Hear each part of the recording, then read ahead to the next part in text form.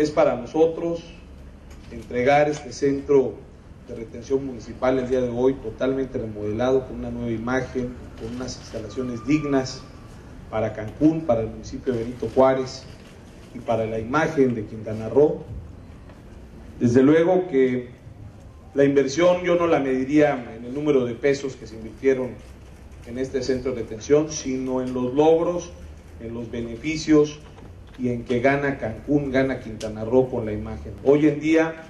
lo primordial y la primicia de que se dio una capacitación estricta a quienes hoy en día laboran en este centro de retención, fue lo primero que se hizo, porque no podían estar sin capacitación